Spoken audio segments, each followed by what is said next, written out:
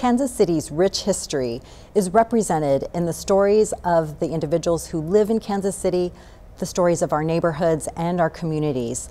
One area filmmaker who has made it his mission to share these important histories is Rodney Thompson, whose current film, I Remember 12th Street, will be screened here at the Nelson Atkins Museum on February 23rd.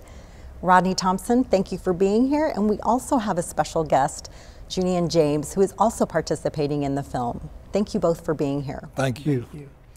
Now, Mr. Thompson, what is it about 12th Street and this specific period of time that you that led you to focus this film on this on this period?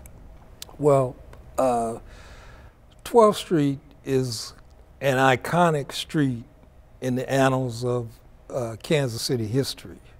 Uh, it's been immortalized in song and is the subject of jazz legends. And uh, I just felt very much like I wanted to tell the story of 12th Street. And my partner and I, Stinson McClendon, took a look at it and started to talk to people. And we found out that people who lived in that area had such an affinity for the street.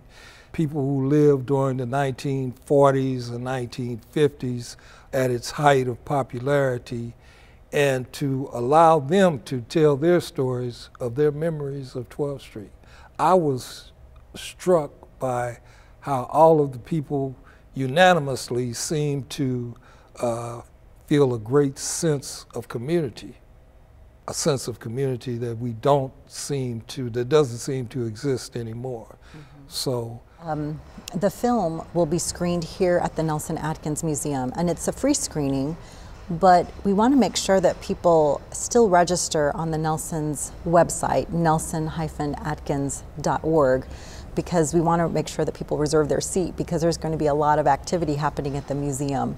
Um, but if people want to find out more about what you're working on, either upcoming projects or past projects, where's the best place to to see that information? Well, uh, we've been very fortunate to have been supported by an organization called Reel Images Film and Video Group, and there is a website called uh, reelimages.org. That's R E E L images.org and you can find out about uh, some of the work that we're doing in the past and some of the things that we're working on right now.